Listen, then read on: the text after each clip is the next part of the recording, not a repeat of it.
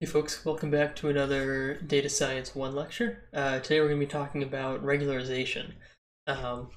so we've uh, we've talked about model building uh, quite a bit in the past. We've introduced uh, some of the, the main branches of supervised learning, regression, and classification. Um, and, and we've introduced a, a general philosophy behind model building, which is that uh, you know models are these uh, you know imperfect uh, imperfect representations of the world. Um, uh, noted by this uh, uh, quite soothing picture of, of George Box, um, and then we we follow that up by saying kind of misusing Einstein's quote that that models um, should be uh, made as simple as possible, but but no simpler. And we've said this is a, a really important approach to figuring out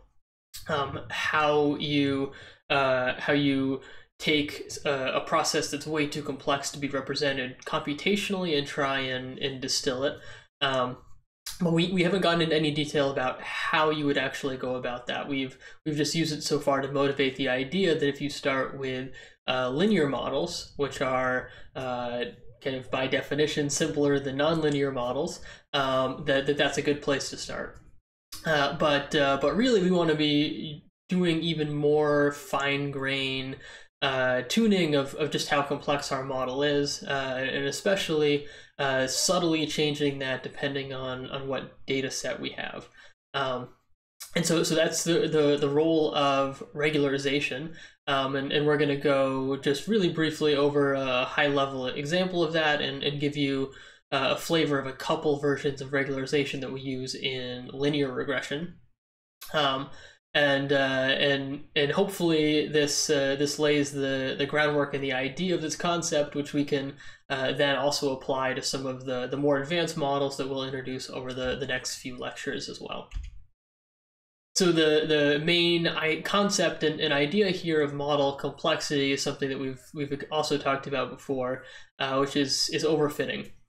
Uh, and, uh, and, and as we mentioned uh, in the the previous lecture, with a model that's not complex enough, uh, you're not going to be able to capture the interesting trends in your data, as is shown on the left. Uh, with a model that's that's too complex, you end up fitting the noise rather than the, the patterns. And while you're training data, uh, your training uh, metrics do very well. Um, when you get to test or validation time, they do really poorly. Um, and so we, we try and find a, a, middle ground, but we, we left that by just saying that uh, that uh, some you know Goldilocks effect in the middle was great, but but not necessarily how to achieve that. Um, so we we uh, alluded to the idea of cross validation being important for that, um, but but left it as a, a really manual uh, ad hoc process to, to figure that out and, and we're going to try and automate that a little bit uh, in, in today's lecture. So just to be uh, a little bit even more explicit about uh, about that idea of overfitting, um, that, uh, that on the, the left here we have uh, a handful of different models of, of varying complexity to fit this data. Um, and and as you can see from uh, the, the the blue line, which is the most complex version of the model, um, we have these these wild swings um, that are, are are drastically overfitting the the data. You can see it's it's perfectly going through the the blue points, which are the data. But as we introduce more test data or validation data, or or try and generalize the model, uh, uh, more in general. Um, with the, the, the red test points, um, you can see that our, our accuracy and our error fall quite a bit. So just giving a, an explicit example for what we talked about in the last slide, if we were then to go and plot uh, the, the metrics for our train and our test, um, you would see that while the uh, the training loss goes down, which means that, that it's uh, better fitting the training data. Um, if we were to show the accuracy plot, it would mean the accuracy is going up, um, but the, the error is is going down for our training in blue. Um, but in red, our, our test error and our test loss is is getting much much worse as we uh, as we're fitting not kind of nonsensical patterns uh, to to capture the the noise in our um, in our training data. So, for example, I, I don't know uh, or don't, don't recall what this process actually is, um, but you can imagine that uh, you know there's probably not these huge swings up to you know 50 or 100, uh, perhaps um, you know between negative one and one. Um, like uh, like this model uh, shows to try and capture the um, the the noise that's uh, in uh, just happens to be captured by the, those two data points uh, around, let's say, 0.8 and 1, um, that, uh, that have a, a, a really strong, uh, really uh, high slope between them. So uh, to, to, to beat a dead horse here, um, if we're thinking about model complexity in response to um, to the the the prospect of overfitting, um, with a, a linear regression model, we're going to fit a, a, straight line. And so through some number of data points, um, we're going to capture some aspects of it, but, but not others. Um, uh, as we uh, get more and more overfitting, like we saw on the, the last slide, um, we're going to to fit our uh, our training data better here. Um, and we're also going to increase our, our model complexity. So you can see from the parameterization at the top here um, that, uh, that, that as we introduce more terms, um, our, our model is, is doing better and better at, at fitting the data. Um, and we can kind of continue this uh, for, for as long as we want um, until we have uh, in in this case, with our our eight data points, uh, it turns out that a uh, an degree eight uh, linear polynomial model uh, perfectly fits the data, and and that's a, a trend that you'll see generally is that you know with an equal number of of rows and columns, or to say of, of data points and features, you can perfectly fit any any training set. Uh, that's something you, you may remember from uh, from uh, linear algebra. Um, trying to do matrix solves on uh, on on square matrices. Um, so so we we have uh, this this increase in complexity. Uh, you know, clearly leading to overfitting. Um, but but the another reason that I, I stepped you through this um, this process is to also capture kind of the way that we go about traditionally thinking about fitting models, um, which is the, the way you're taught in basic statistics is to start with a, a, linear model that's that's really simple and try and fit that. And if that doesn't work, then you switch to a quadratic function. You try and fit that. Um, use you know some matrix solve or, or machine learning um, to to fit the best quadratic you can. If it doesn't fit well, then you go up to you know a third order, a fourth order, a fifth order polynomial, and, and try and fit those iteratively. And that's a a, a really uh, simple and, and nice idea um, that uh, it, it, has a strong bias towards uh, leading you to these simple models because that's that's the place you you search first. Um, and and in many cases this approach ends up uh, ends up being uh, uh, pretty reasonable computationally as well. It's uh, it's a little bit less the case in in model fitting here um, because we're still running through all the data. But if if you think about the analogy to this in something like uh, something like search, um, the, the computer scientists in the room may recall that uh, that iterative deepening search, where you you know look uh, search on on trees of of depth one and then depth two and then depth three iteratively like this, has the same computational complexity as um, as just looking at the the final order um, polynomial. Um, for the, the non-computer scientists in the class, uh, forget uh, forget what I just said. Um, but uh, the the the idea here is that um, while while it's a, a, a, nice approach to think about uh, kind of manually tuning um, the complexity of your model, uh, we're in this class kind of taking the approach of um, of automating uh, and, and and optimizing whenever we can. Um, so let's let's think about how that that applies to model selection here too. So uh, in, general, both in uh, how we fit the model, um, uh, our, our actual process, uh, as well as uh, uh, what our model is doing to the data, which is, is fitting way too much. Um, we're, we're, we're kind of going way over the top here. So how can we how can we simplify both of these processes? The the maybe most intuitive version of this is is something we've talked a little bit about in our EDA and and pre-processing uh, lectures, which is feature selection. So if you have uh, you know many rows and you know either not enough data points or too complex a model, uh, one thing we can think about is just picking the features that we think are most important and training a smaller model on those. Um, that uh, you know in, instead of uh, you know fitting a uh, you know 10,000 dimensional uh, vector on the complete bag of words for your uh, NLP model, you might uh, just look at the you know 10 most frequent words in the text or 100 most frequent words in the text and try and use those as the features to, to fit your model. Um, so in in some cases, that's it's really clear or uh, maybe you're working with a, a, domain expert who has a lot of intuition about what the important features are for a model. Um, but but in general that's not a, a, really scalable process to just try and think really hard um, about uh, about which features you should use. Um, and so uh, so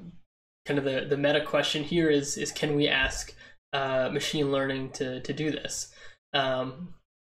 so remember uh, from a, a, few lectures ago when we introduced um, the the idea of loss functions in in uh, in regression um,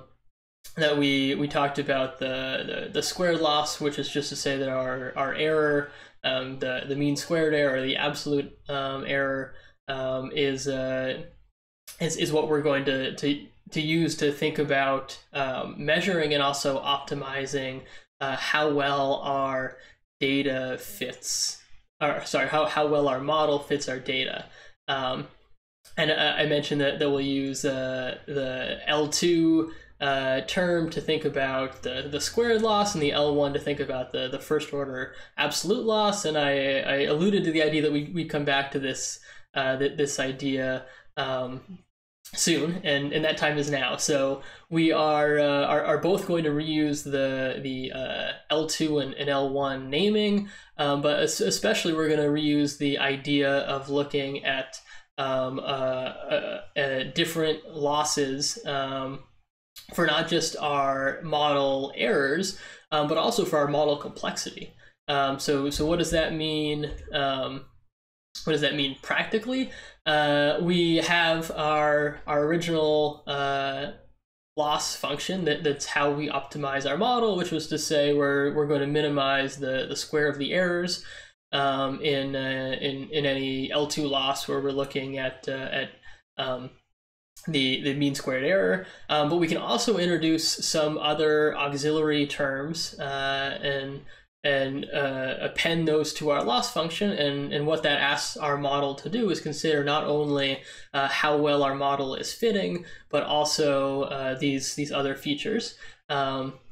and the, the, the other feature that we're going to incentivize our, our model to be fitting uh, is uh, the in, in, this case the, the L0 norm, um, which is to say how many non-zero uh, terms do you have in your model.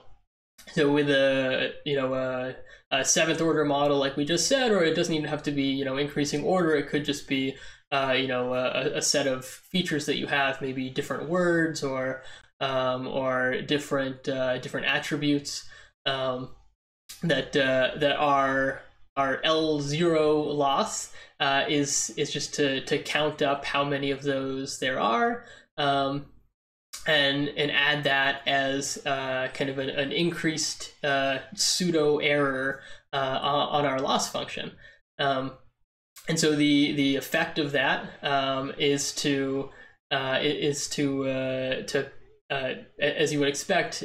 use fewer and fewer terms um, in in your model. So for the the picture on the right here, um, uh, imagine the the circles being the uh, the the uh, loss or error landscape um, that we're trying to to get to the the center, the the darkest points here on this topological map. Um, and and what we have for the the axes is uh, how that loss changes as we look at larger values of uh, let's say just uh, our our parameter one or our parameter two um, and and as you can see here um, we we have a, a strong incentive to only use one of those parameters with our L0 loss um, and so the, the question is you know how can you increase or decrease um, your uh, the the value of you know just a, a single one of these. So, uh, for example, if we we were to to consider um,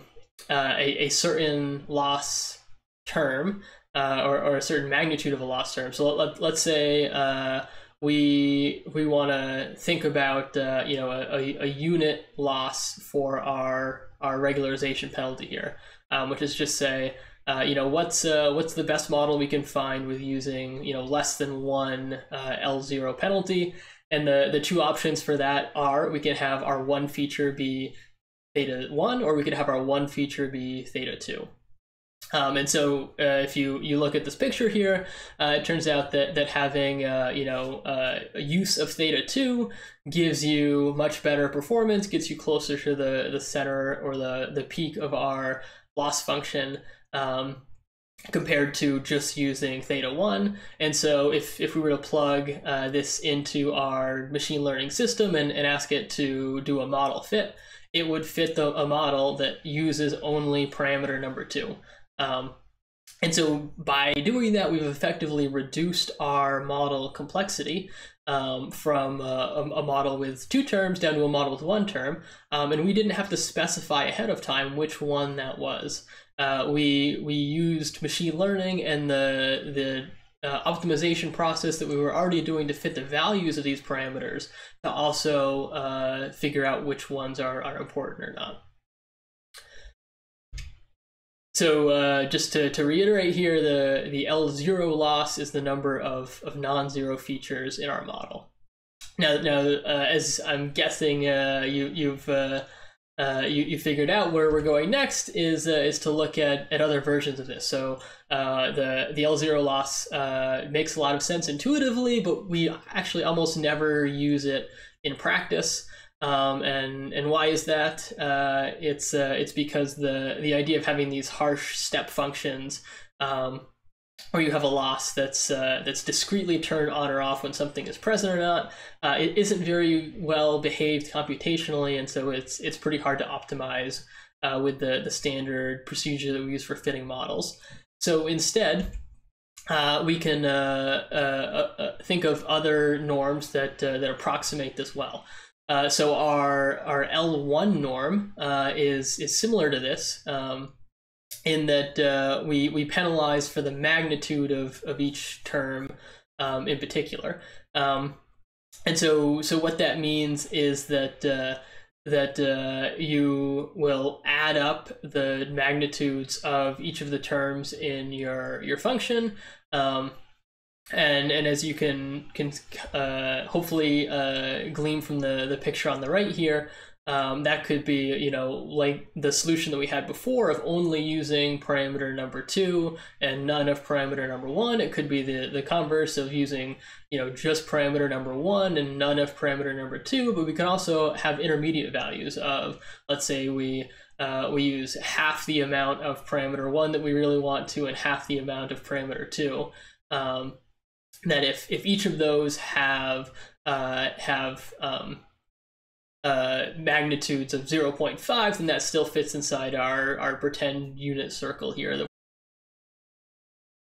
And so this means that uh, we're able to have uh, intermediate values uh, of, of both of these features, but as may not be totally obvious from the, the picture, um,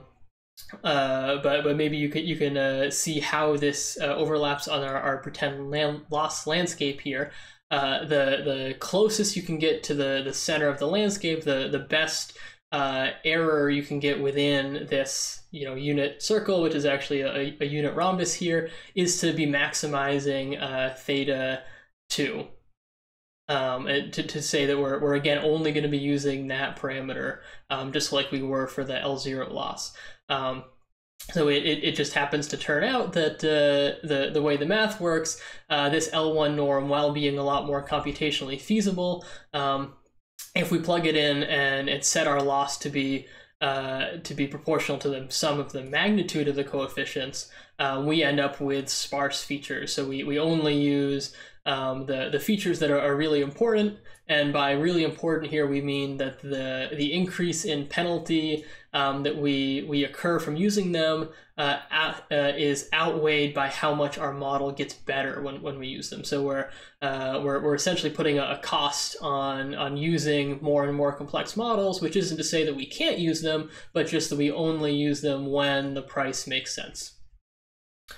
Uh, we can uh, think about extrapolating this idea even further to, uh, sorry, I should say before we move on, that there's a, a specific name for uh, linear regression that uses the L1 norm, and we call that lasso regression. Um, so you'll you'll hear that term a lot in in machine learning and data science, and, and lasso just means linear regression with an L1 cost penalty. Um, we can extrapolate this further to uh, an L2 cost penalty, um, and, and this process is called ridge regression. And so here, instead of uh, penalizing the uh, the magnitudes of the uh, of the features or, or, the coefficients of the features, um, what we're penalizing is the uh, the the square of those magnitudes, which is to say um, that uh, assuming we have uh, weights that, that tend to be less than one in, in magnitude when we square them, um, we end up with uh, with uh, you know nonlinear smaller values, and and so uh, when you you plot the sum of those, what you get here is a, a circle for our our parameter um, parameter allowance ball within this this uh, one unit of uh, of extra regularization loss. Um, and and what that means uh, in practice as we try and apply machine learning to them is that uh, the the the shape of this uh, this picture here uh, you can tell is isn't uh, quite so sharp at the the corners um, that that align with the axes of just using theta 2, we're just using theta 1. Um, but actually uh, has uh, has uh, uh sticks farther out in the direction of our uh, reducing loss um, for uh, combinations of some amount of theta 1 and some amount of theta 2. Um, and so the, the L2 norm does a, a better job of uh, uh, allowing you to use uh, multiple features and, and many features, um, yet still keeps the, the magnitude of those small, which is to say um, that, that the more features you're using, the less you have to, to, uh, to use each one um, in, in, particular. Um, and so this, uh, this keeps uh, again your your model small um, and and incentivizes many of the weights to be low and and the weights of specific features uh, only to be high if that feature is really important for uh, predicting the outcome of the model. Uh, but it doesn't go quite so uh, harsh in in letting you uh, choose only the features you want, which is to say, uh, pushing the coefficients of the features that you don't want down to zero. So you'll with L2 ridge regression, uh, you'll still end up with uh, lots of very small feature, lots of features that aren't used very much that have small magnitudes, and some that, that are important and, and are used. So it's a good way of uh, effectively creating these smaller models. Um, but it doesn't it doesn't literally use use fewer features and, and turn off the others. Um, this is is nice in in many cases, especially when you expect the contribution of uh, of your model to uh, to or the the prediction of your model to be uh, having contributions from many many features. Uh, lasso regression will do pretty poorly in that because it'll try and pick out just a few features that are really important. Where L2 does a little bit of a better job. Um, of, of weighing uh, the the use of features that are uh, are, are uh, the use of many features at once uh, more so than Lasso does. Um, so uh, again, this is a, another option for regularization um, that, that, that may be be helpful here. Um, just uh, one, one last example is that these norms and these penalties don't need to be um, to be uh, you know one or the other. Um, they're uh, they're not mutually exclusive, and, you can think about adding you know as many of these auxiliary loss terms to your function uh, or to, to your loss function, and and thus uh, have them impacting your model as you want. So uh, an example is a, a, a, linear regression model called ElasticNet, which uses both the L1 and the L2 norm. Um, and so you have a, a, slightly stronger penalty for uh, setting weights to zero, but not quite so so harsh as, as lasso regression. Um, and so it, uh, it it's a, a, nice compromise between the two of uh, trying to uh, still use a few features whenever you can, uh, but with a, a, little bit more flexibility to add in, uh, you know, small magnitude other features um, at, at non-zero, uh, but but small values. Um, and so uh, so as, as you can see, there there are a little bit of uh, of of questions uh, that depend on the the type of model you're expecting um, with, uh, with with with this approach. Um, but it, it certainly uh, narrows down the number of implementation and, and design decisions that you need to make um, by uh, by asking you just to pick a, a loss function and not actually pick a specific model. That uh, again, the the optimization process and the machine learning under the hood uh, will end up taking that loss function and saying, you know, what's the the model in, in which terms. Uh, uh, the which the what usage of which terms uh, most efficiently gives you good performance on on this model. Um, and so uh, so so this this idea is is a, a really powerful one and um, and and all, all three of these models are, are really popular. Um, personally for for a lot of the things i do um, the the data sets are, are, are pretty large we have lots of features and we want just a few so um, lasso regression uh, works really well um, in in, uh, in in my experience, but uh, there are certainly types of problems where ridge regression or elastic net um, are are absolutely the the way to go to. Uh, so just uh, just really quickly to say uh, the the parameterization here we've talked about using machine learning to optimize this, but but how exactly does that work? Um, like the rest of this class, we're not going to go uh, under the hood too much for the, the details of, of the actual uh, optimization. Um, but let me just say, say really quickly uh, that, that this relates to uh, the idea of, of cross-validation and, and uh, looking at error on held out data, like we've mentioned before. Um, and so as you can imagine, uh, having these penalties leads to uh, increasing uh, inability to fit your data. Um, so we, we've seen this, uh, you know, on our example of, of underfitting uh, data with, with two simple models. Um, and, uh, and, and uh, as you increase the penalty that you put on your your your loss function. Um, and I, I, think I forgot to to point it out explicitly, but there's a there's a, a weighting term here on on our losses that tells you how much you should trade off uh, the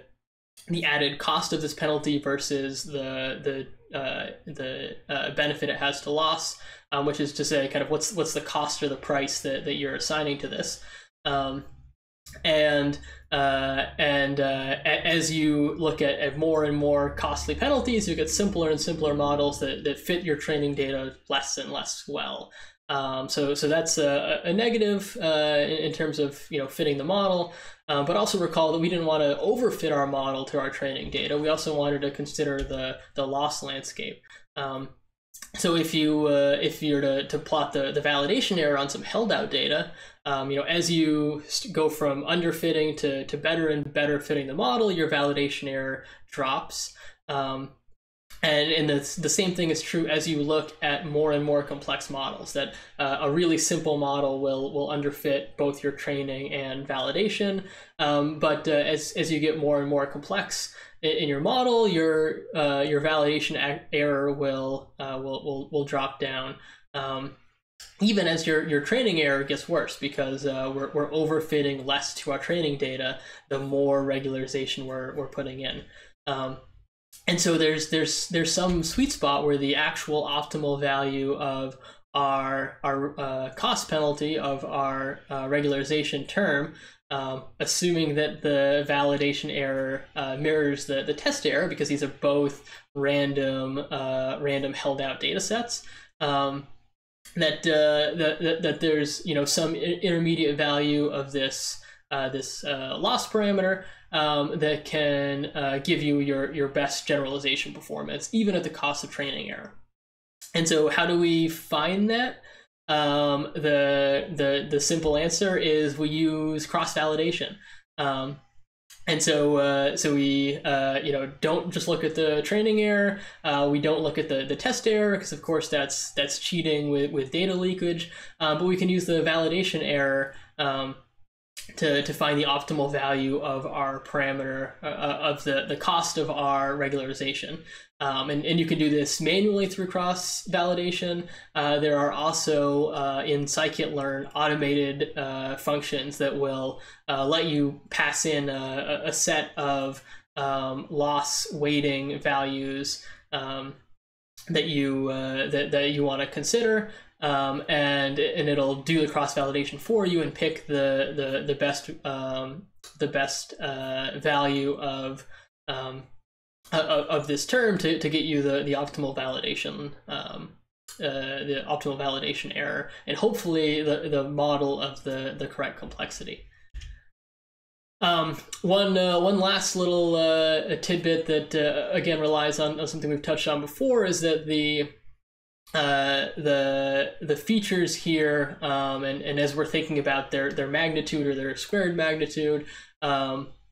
the the the raw values of these features actually really matter. So looking at uh, at comparing a uh, uh, a feature that has um, a, a, really huge range and scale versus one that, that has much smaller magnitudes. If we're trying to penalize the the magnitude of the parameters, that will be uh, inversely related to the magnitude of the, the feature values. And so to, to make it fair to be penalizing each of these terms in a way that makes sense, uh, we're, we're going to use uh, something we uh, talked about at the, the very beginning of this class um, related to, uh, to, to standard deviations and, and samples, which is that we're going to, to be standardizing. Um, so uh, that, that's to say that we uh, one of our pre-processing steps that, that we uh, mentioned that we take is to standardize our data into into z-scores that have uh, typically zero mean and, and unit variance. Um, and that's uh, that's great for a, a, whole bunch of reasons for fitting models, but especially good if we're thinking about um, equally weighting regularization terms. Then then the standardization becomes really important. Um, I, I, think your, your textbook may have talked about normalization too, which is just to squash the values between uh, negative one and one, um, or, or sometimes zero and one. Um, and that, that idea works uh, work, works also, but uh, the, uh, the the standardization uh, z-score version um, and there's there's also other standardization types that uh, that that probably won't talk about in this class, like um, like like using PCA to do this. Um, but uh, we the, uh, the, the standardization tends to tends to work a lot better. Um, and then uh, a, a, final caveat to tag onto this is that uh, we typically apply this only to our um, to our our uh, coefficients of our variables and, and not our intercept um, because as you can imagine it doesn't really make sense to think about uh, a, a, small intercept being low model complexity um, or, or having to be standard uh, standardized, um, the, the intercept should be in, uh, you know, relative to whatever units your output variable is, and, and it doesn't necessarily have to be between zero and one.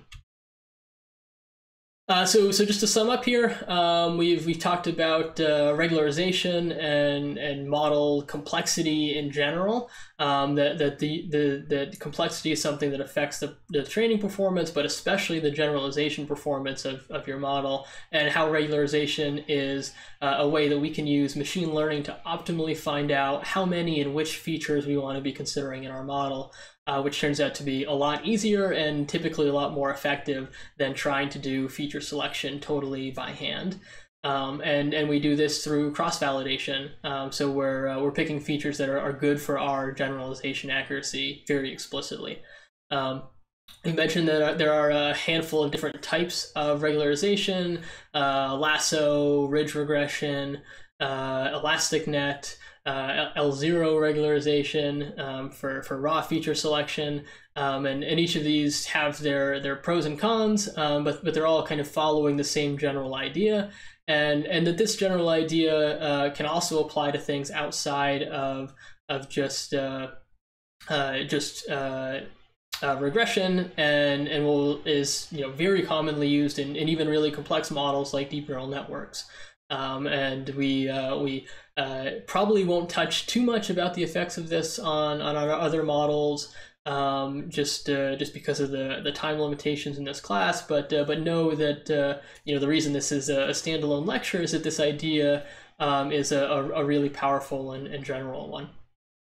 Um, so, so that's that's it for today. Um, we will uh, talk about getting into more unique types of, of complex models uh, in the, the next couple lectures, and uh, and I'll I'll see you then. Um, thanks everyone, and and see you online.